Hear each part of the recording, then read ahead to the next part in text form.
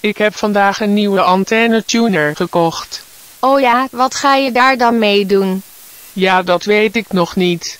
Ik heb begrepen dat je er de golven mee kunt laten staan. Staat dat beter dan als die golven staan? Ik zou eerder zeggen als ze toch slapen, laat ze dan maar liggen. Dat weet ik eigenlijk niet of golven wel kunnen liggen. Ze kunnen echter wel staan. Zitten doen ze ook niet? Nee, zitten doen ze ook dus niet.